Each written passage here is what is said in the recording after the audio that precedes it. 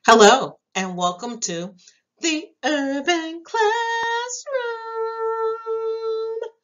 Hi, my name is Mrs. Brooks, and I want to thank you for joining me today in the Urban Classroom.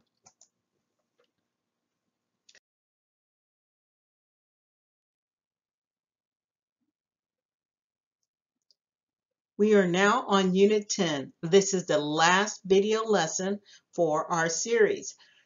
Today, we're going to learn about settling the Western frontier. It is a lot of information, so let's just go ahead and get started.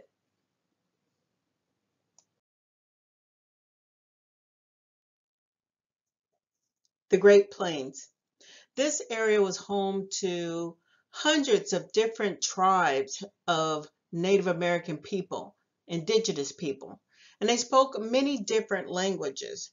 Um, Native American groups were not all the same. They have different beliefs, different traditions, different customs. And so it would not be fair to say that all Native Americans were the same. They weren't. Um, Native American, they were able to survive in this area called the Great Plains because of the buffalo. Millions of buffaloes roamed this flat area that you can see on the map referred to as the new breadbasket. So you have uh, indigenous people in this area, buffaloes in this area, but white settlers are moving into this area because they want to be able to create and build homes and start farms and also have the railroad come through because trying to connect the east to the west. You have businesses that want to get started in this area. Unfortunately, this is causing some conflict between the indigenous people that already live there and then the American settlers who are moving west into this area called the Great Plains.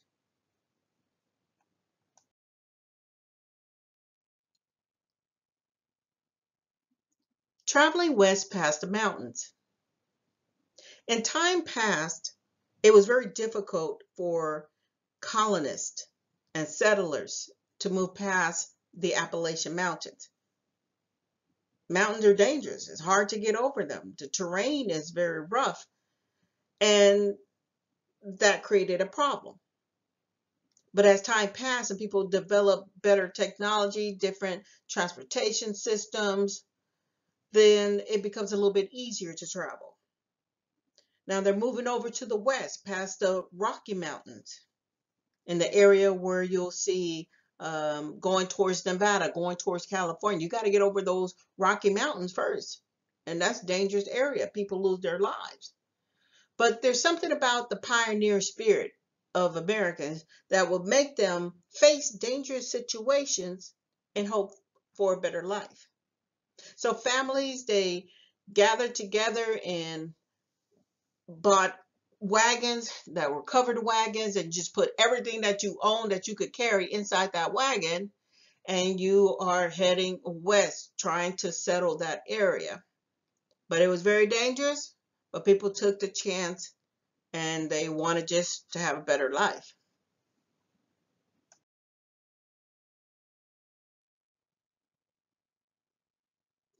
In addition to wanting a better life, there were other reasons why people wanted to go west.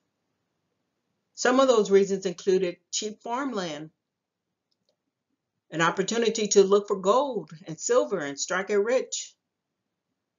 It was more grazing land for animals if you wanted to have a farm or a ranch.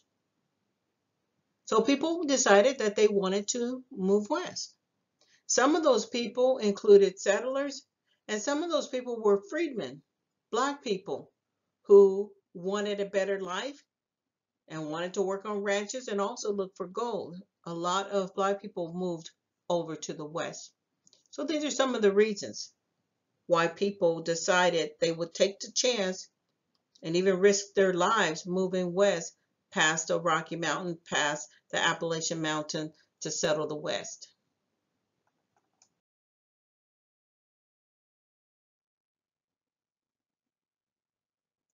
Life in the West. Life in the West was hard because you're going into an area where there aren't houses available that you could just go rent. there aren't any stores in the area where you can just go buy groceries. No, you're going to have to do a lot of hard work if you plan on surviving in the West. The land is flat, it's wide, and it's not easy to live there. There aren't any trees enough where you could cut down to get the lumber and build a house. No, it's challenging. So you have to look around at their your natural environment and see how you're going to build a house. What can you use?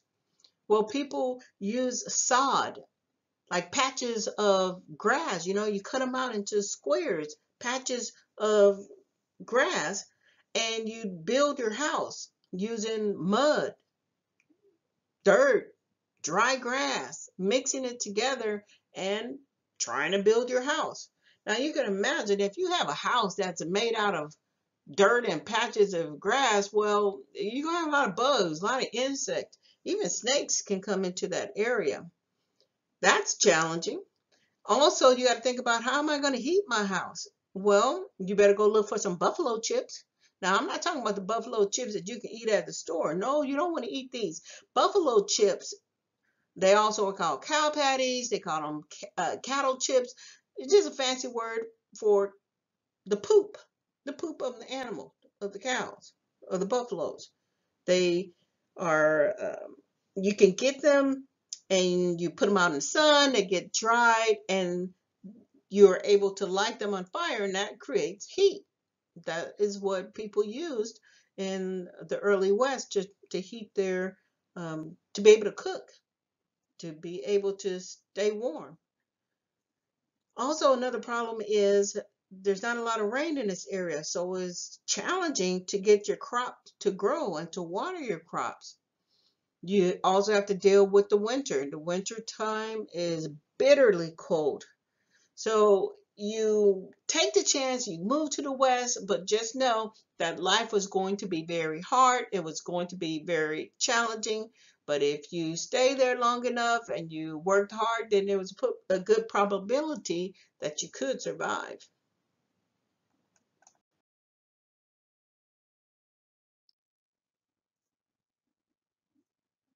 The Homestead Act of 1862. The government wants people to move west. So we kind of go back a little bit in time when Abraham Lincoln was still alive and he was president. Well, he worked with Congress and they came up with this program called the Homestead Act.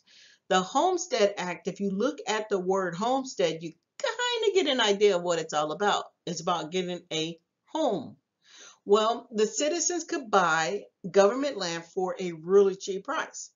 And if you're the buyer, you'd have to meet some requirements and pay a small fee, but you could get enough land where you can build your house. And then you're going to need to start a farm. Those were two requirements that you had to uh, accomplish if you're going to be a part of this program. Now, if you can take care of the land for five years, you got your house, you got your farm, you do that for five years, then that property could become yours. Now, this opportunity was available to European immigrants, for single women, and also freedmen. Freedmen were the, the black people who got their freedom papers. Okay, so if you were free, then you can go into this area and you could apply for this program and be able to um, get land at a really cheap price. Now, unfortunately, if you um, did not keep your farm up and you didn't build your house after five years, then you wouldn't be able to get the land. You didn't meet the requirements. Also, any person who fought in the Civil War, then they were not eligible for this program as well. The land was available. A lot of people would benefit from it.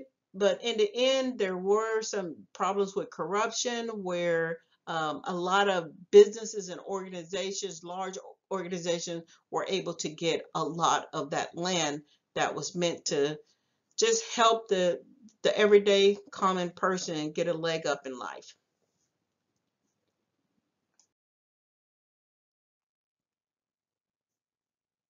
The Morrill Act of 1862. Again, we're going back in history when Abraham Lincoln was still president, he was still alive. He worked with Congress and they created this program called the Morrill Act of 1862. Well, it's all about education. The federal government gave federal land to different states, and the states could use the land to start public colleges and universities. The first kind of uh, institutions that were built were for agriculture and mechanical arts, such as Texas A&M. Well, these schools also offered um, an opportunity for African Americans to get educated as well through historical black colleges and different universities.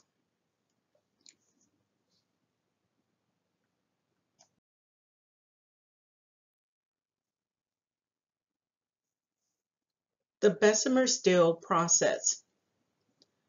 During the 1850s, many factories started using a process called the Bessemer process, and it was a way to make steel. See, steel comes from a different metal, it comes from iron. That iron is melted at a very high temperature uh, degree and it transformed into steel. Now, if you want to know specifics, you're going to have to go talk to a science teacher for that. All I know is that iron is melted at a certain temperature and then it changes into steel.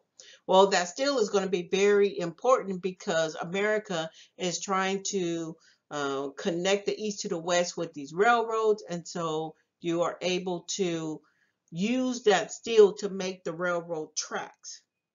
So the railroads are being built and they're going to be able to connect cities to resources and to factories all across America thanks to this process called the Bessemer process.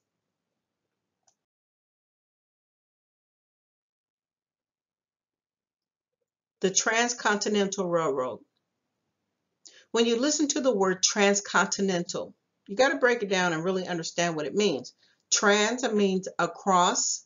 Continental, you're talking about the continent.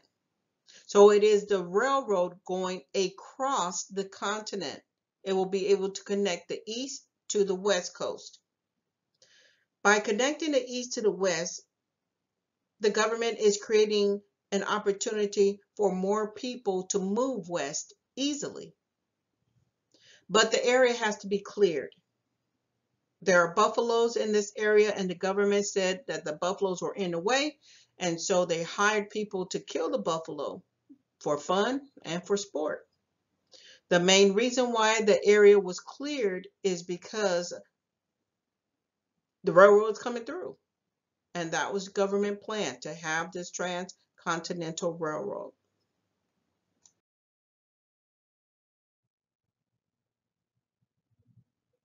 Chinese laborers. To build that transcontinental railroad, America needed a lot of workers.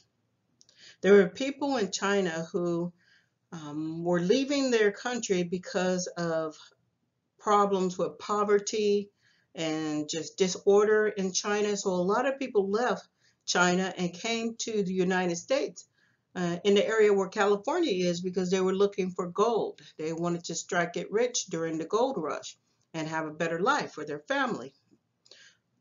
Unfortunately, a lot of Chinese immigrants did not find gold and they had to figure out, well, how are we going to survive? How are we going to live here?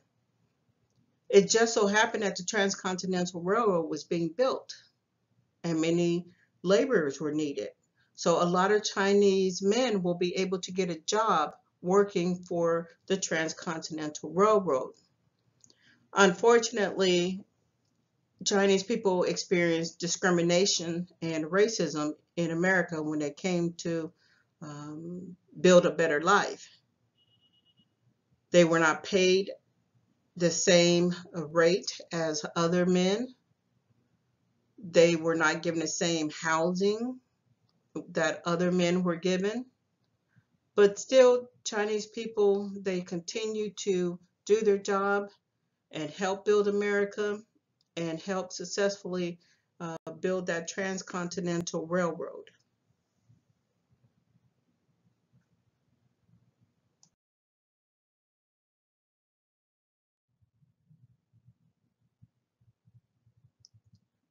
When the transcontinental railroad was being built, you had two different teams working towards a center point. The center point is Promontory Point, Utah. So on the west coast, you had the Central Pacific Railroad, and most of the, their workers were Chinese. But you also had freedmen that worked on the Central Pacific Railroad as well as Mormons. Then you have Irish. Irishmen worked with the Union Pacific Railroad. There are other groups that work with them, but predominantly it was Irishmen who work with the Union Pacific Railroad. And they're starting from Omaha, Nebraska. Now, each railroad company have men working and laying down track, and they have to make the two railroads connect. The area, the point where they connect is called Promontory Point and it's in the state of Utah. Now, now that America was connected, you have the east and the west connected, you can have passenger and freight supplies, provisions, they can be transported east to west in a matter of days as opposed to a matter of months. Because before this transcontinental railroad, it would take months to travel from coast to coast. But settlers are now rushing into the area to live that was once considered to be wasteland, a desert area, but now it is connected thanks to the help of the Chinese workers, the Irish workers, freedmen, Mormons, um, all working together to help build this transcontinental railroad.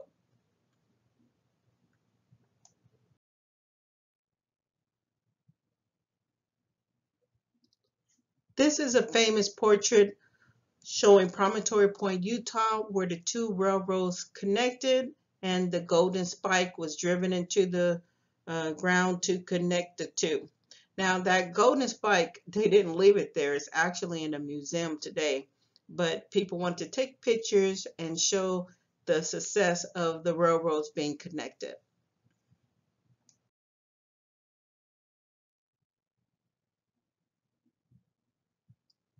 The Indian Wars.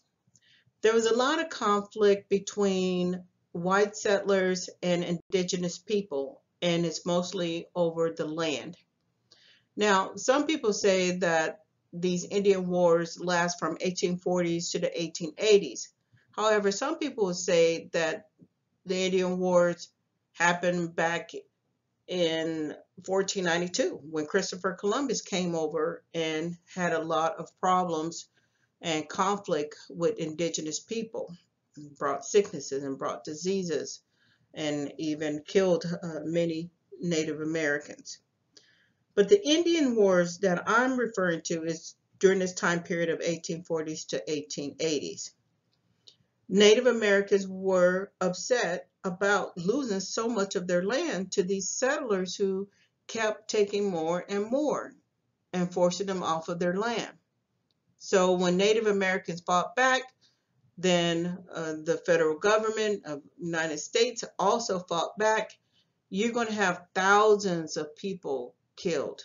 It is reported that nearly 45,000 indigenous people were killed during the Indian Wars and as much as 19,000 um, white settlers were killed during the Indian Wars during this time period.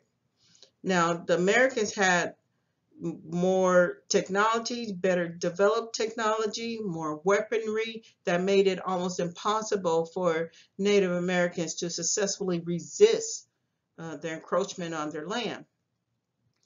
You also have black men who fought, the Buffalo Soldiers.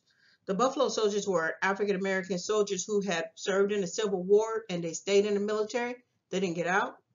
And so now they work for the United States government. And part of their job was to clear routes so that more settlers could travel west. And they also helped uh, hang up the telegraph lines as uh, communication began to expand from east to west.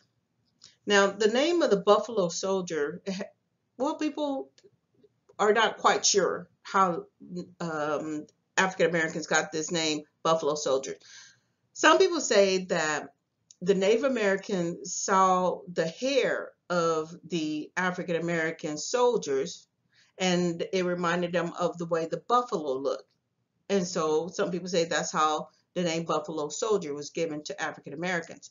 But other people believe that Native Americans, they really valued the buffalo, the strength and the power of the buffalo, and the way that African American men fought reminded uh, Native Americans of the buffalo. And so it was out of respect that the name Buffalo Soldiers was given to African American men who fought for the government.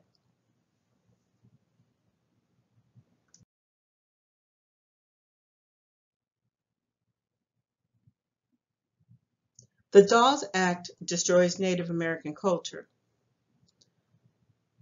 Throughout history, whenever there has been a land dispute between indigenous people and the United States government, the policy had been to remove Native Americans from the desired area and to place them in an area that was less desirable.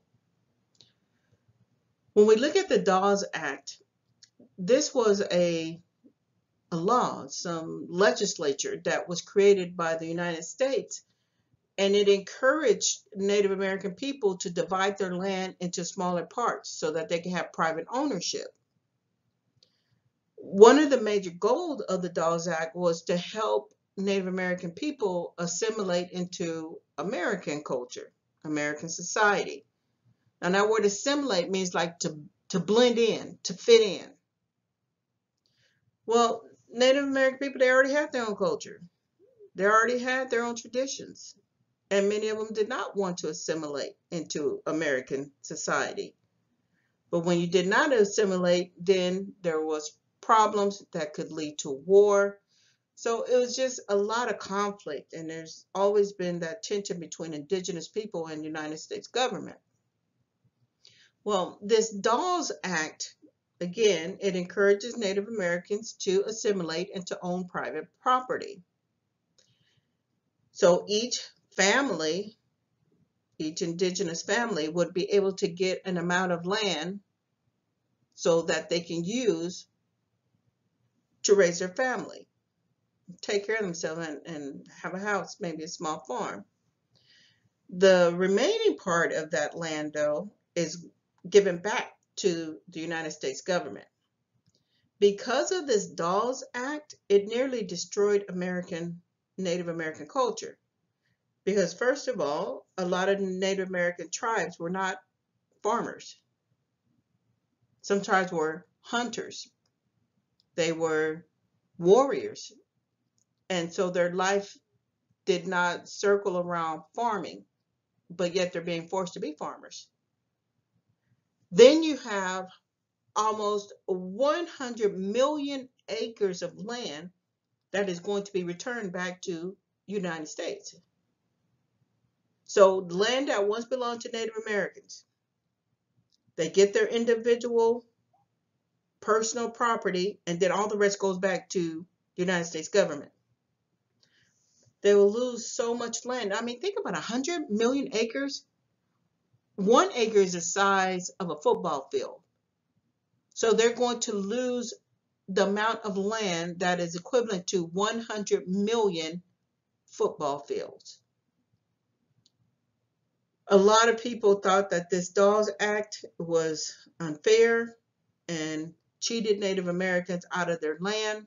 It caused a lot of conflict. It caused a lot of problems. And even today, indigenous people still continue to have problems with the United States over land and land rights.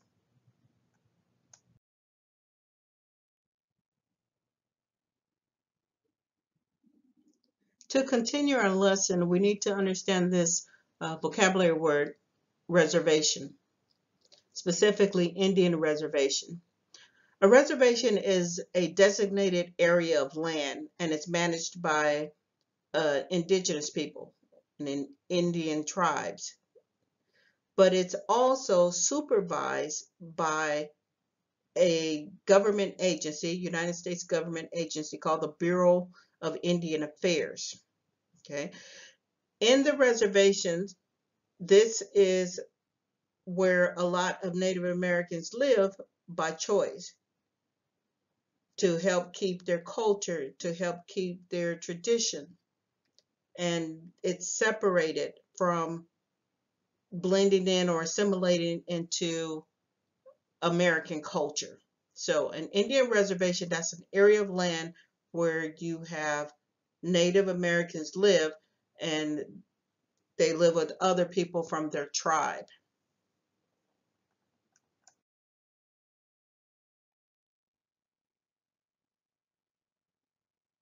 Problems on the reservations.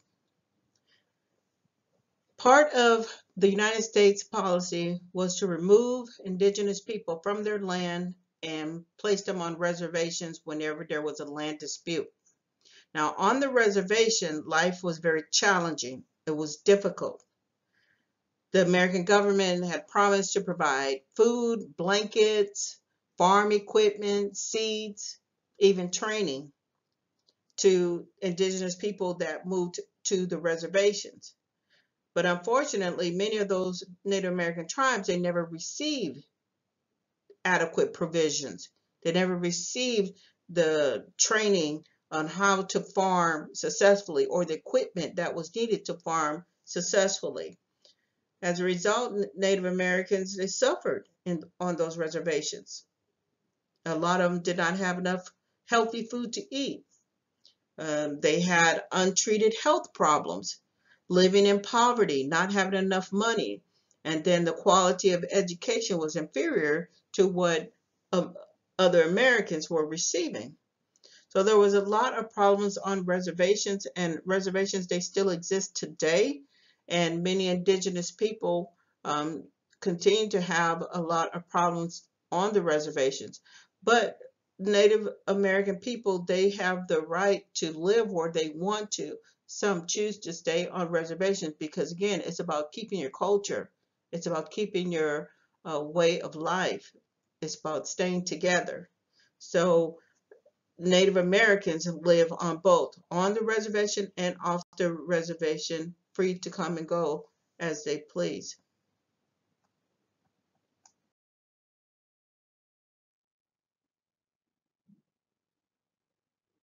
Now I want to talk to you about the second industrial revolution. The second industrial revolution is also known as the technological revolution. It's going to last between 1870 to 1914. That's up till the point of World War One begins. But during the second industrial revolution, the focus of factories have changed. They no longer are focused on um, helping with the Civil War because Civil War is over. So businesses are now making items that people need in their everyday life. It's items such as uh, baby carriages, rocking chairs, tables, um, sewing machines, clothes, soap, butter, things of that nature. Um, these factories and these machines are a place where a lot of people could come and get a job.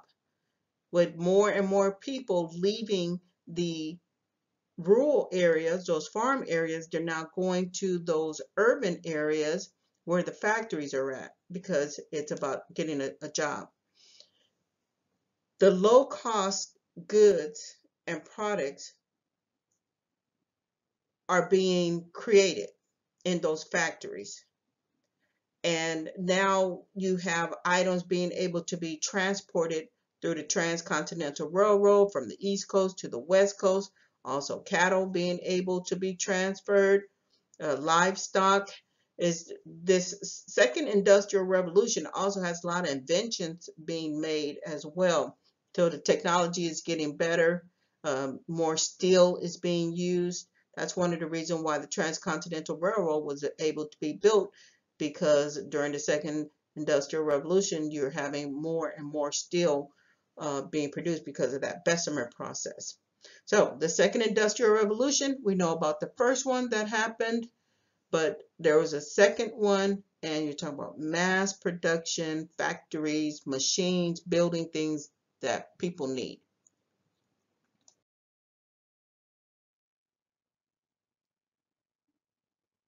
European immigrants come to America.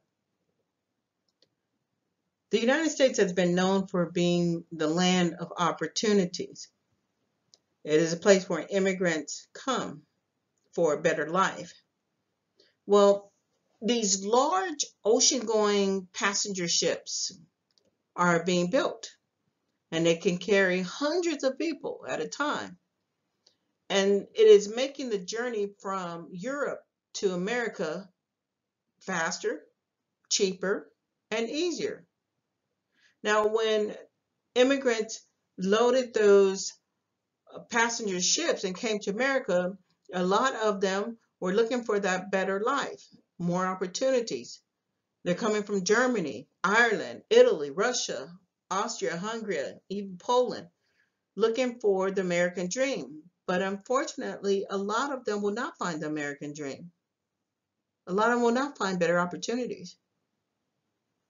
A lot will experience overcrowded living areas, racism, discrimination, low paying job, and unsafe work conditions. But yet, still, European immigrants continue, even today, to come to America. And it's really about looking for a chance to work hard and make a better life.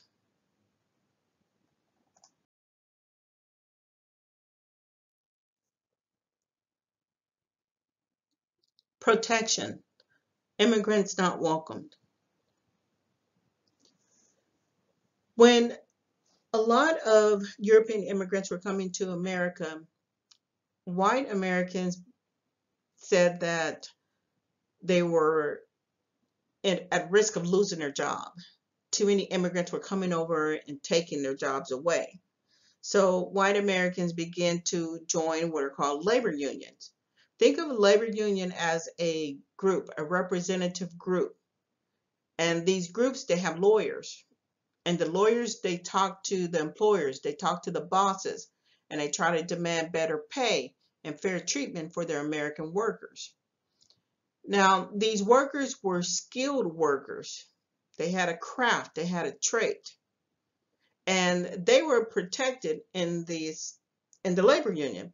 But if you were an unskilled worker, just had a regular everyday job that didn't require a lot of skill or education, then you weren't protected because the labor union did not work with unskilled workers. Neither did the labor union work with um, blacks or freedmen. Now, initially, the public reaction to the labor union was hostile.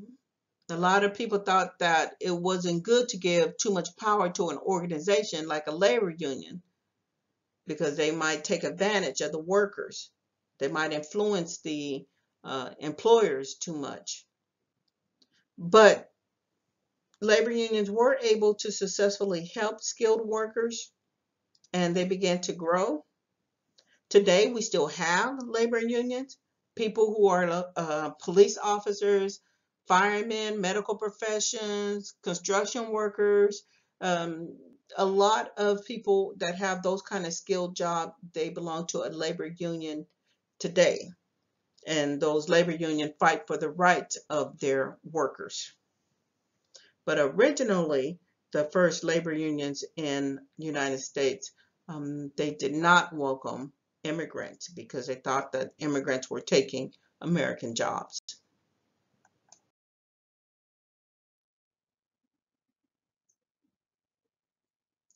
Knights of Labor, the labor union movement.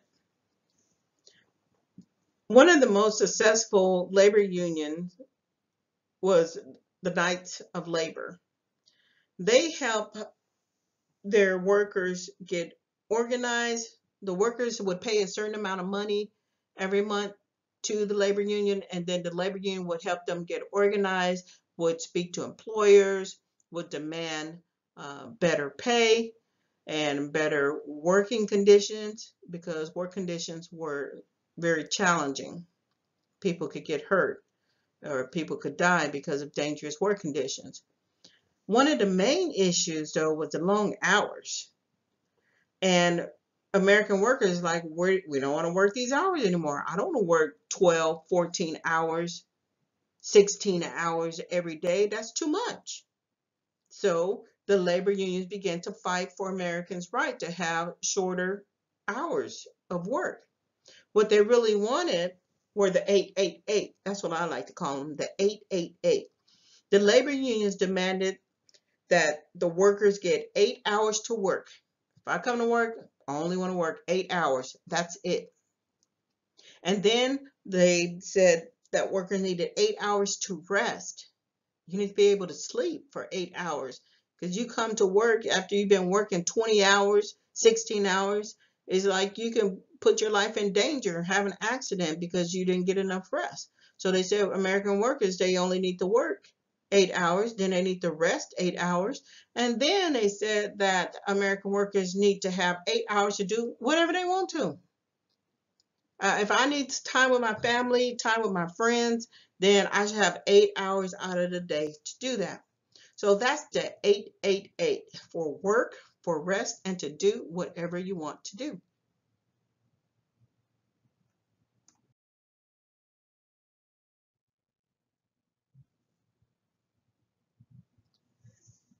We've been talking about settling the West, and now I want to talk to you about the two main paths to U.S. citizenship because we had a lot of immigrants during the 1800s as well as the 1700s came over to uh, the United States and now want citizenship. So let's look at the two paths. One is by birth. Anyone who is born in the United States is an American citizen.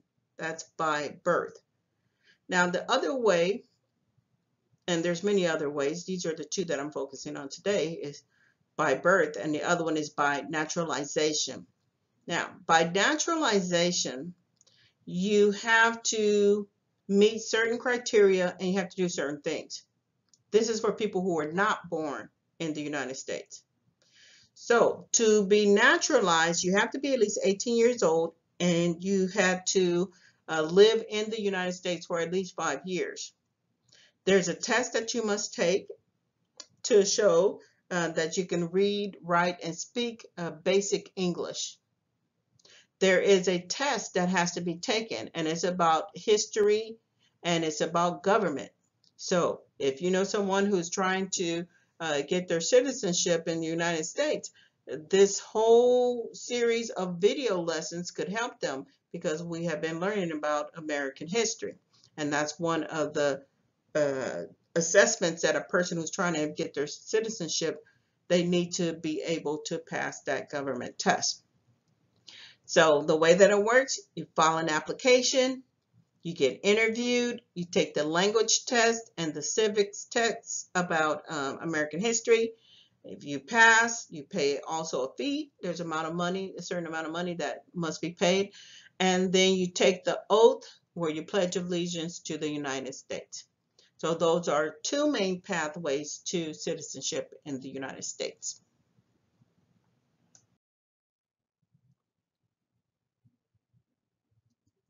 Expectations for citizens. Once a person becomes a citizen of the United States, the government expects certain things from them. The government expects a person to obey the law, to vote, to serve on jury duty, to testify in court if you're summoned. That person is expected to stay informed about public issues. You should know about the news and what's going on in the world, what's going on in the country. A person who is becoming a citizen is also expected to attend school. You got to go to school and you got to work hard because the government needs your tax money. So everyone who has a job uh, will pay taxes. Well, if you make a certain amount of money, you have to pay taxes. And that tax money is used to help support the government expenses.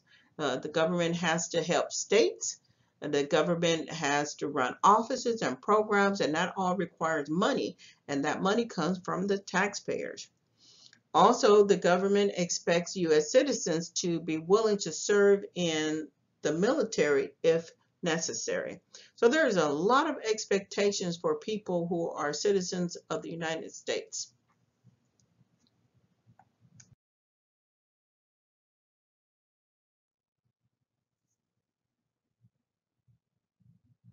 We're about to wrap up this unit. And so I want to talk to you about great American literature and authors. We have books, and books are written for several different reasons. They're they're written to inform, that means to give you information. They're also written to entertain, that means to help you pass the time and in, with enjoyable um, literature. And unfortunately, America was dependent for a long time on European writers. So the books that Americans were reading were written by people who lived in Europe, but there weren't any Americans who were producing great literature. But that changes. That changes in the 1800s. You're going to have people like Mark Twain. He'll write about uh, Huckleberry Finn, the adventures of Huckleberry Finn. You'll have Herman Melville. You'll have Washington Irving, Sleepy Hollow. You have The Time Machine by H.G. Wells.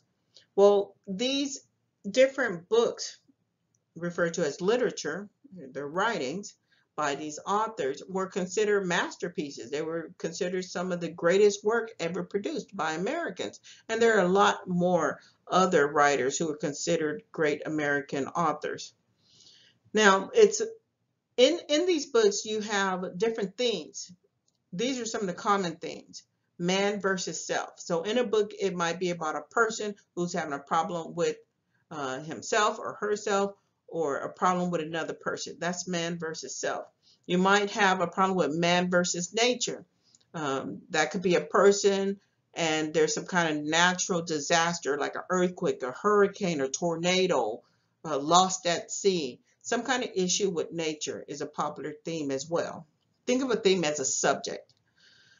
And then you have man versus machine. That's when um, a person is having an issue or conflict with a machine. So these are the popular themes. Uh, America had developed their own writers, and you have some authors who did some really great work that is remembered even hundreds years of later. And some of these books, I'm sure you're going to be reading them when you get into high school. But uh, this is the time period where American authors began to cut the cords with Europe and said, we don't need your writings anymore. We got our own.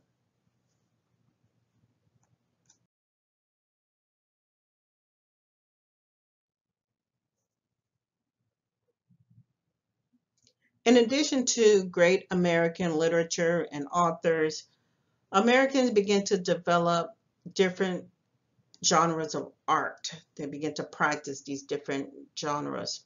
Think of the word genre as a type, different types of art. So romanticism is a type of art. It is about evoking emotions when you look at the painting. It's about celebrating the imagination, escaping reality, and it's about nationalism. Nationalism means a love for your country. In addition to romanticism, you have realism, and this is a type of art, a genre that many Americans were beginning to paint. Now, realism is about capturing what is true in life, what's ugly in life, the challenges in life. It's about focusing on daily problems in life. So if you look at the two paintings, you can see that romanticism is quite different from realism.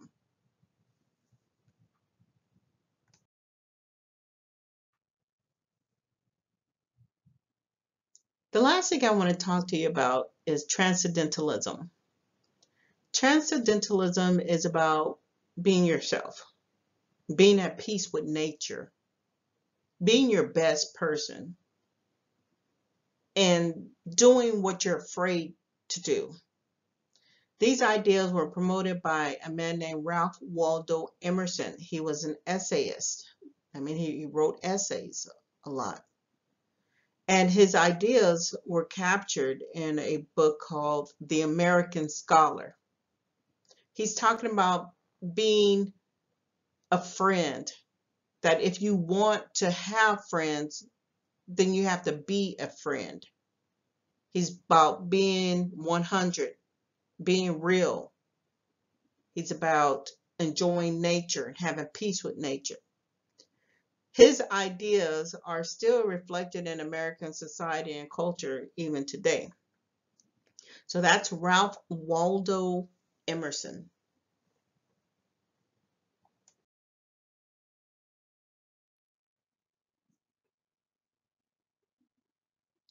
Today we learned about Unit 10. It was settling the western frontier. There was a lot of information that we covered. If you didn't get all of it, make sure you go back and watch the video again.